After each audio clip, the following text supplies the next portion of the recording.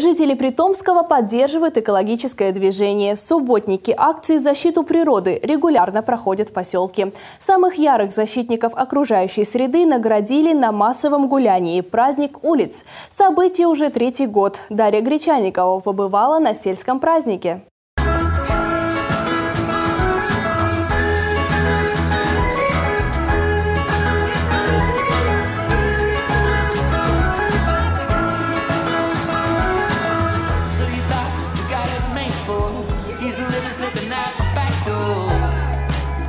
Улицы Горького, Мичурина, Железнодорожная, Матросова, Фестивальная. Жителей поселка Притомский узнаешь не сразу. В честь традиционного праздника они перевоплотились в ярких персонажей. Тема этого года – экология.